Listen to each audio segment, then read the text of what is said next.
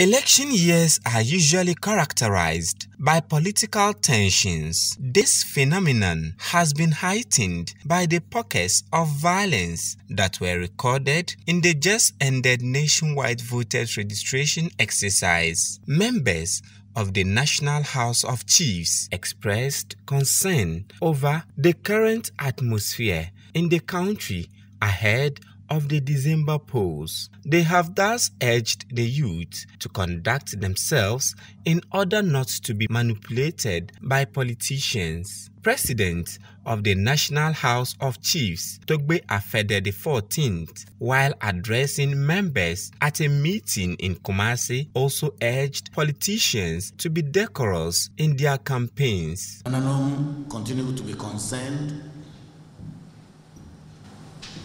about the atmosphere in our country, in particular leading up to the elections of December 2020. And on behalf of uh, Nananom, I want to urge the people of this country, particularly the youth, to conduct themselves in ways that will preserve our country's peace, our country's unity, and continue service on the path of uninterrupted development. The youth in particular should ensure that they are not manipulated, they are not used for the wrong purposes. Their future is particularly very important. So whatever Nananom will do to preserve a peaceful future, it's something that uh, the youth must be very interested in and support. We'd also like to urge our politicians to remember that while this they search for a mandate, while they campaign for votes to get a mandate, our people have as their ultimate desire peace, unity, and development.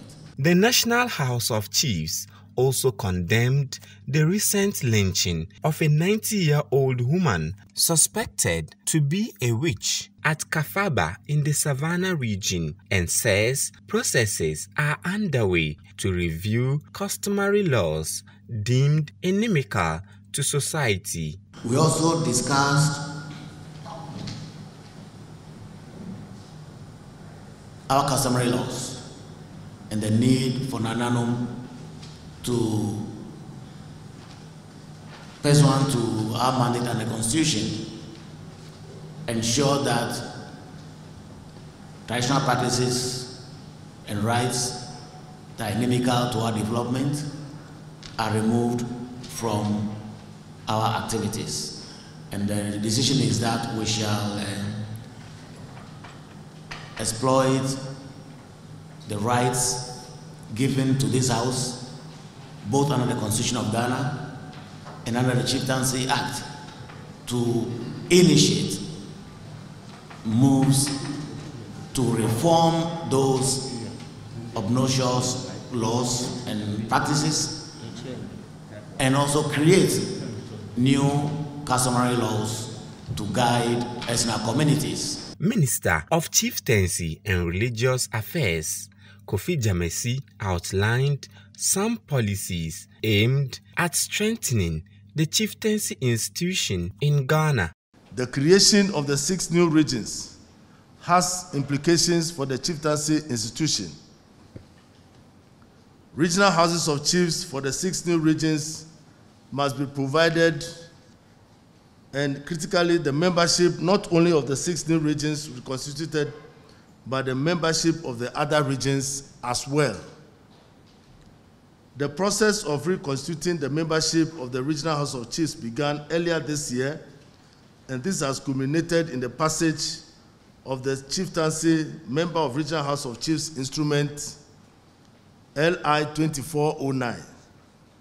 The next most important steps to take to concretize the effort is the inauguration and the election of respective leadership of the House of Chiefs.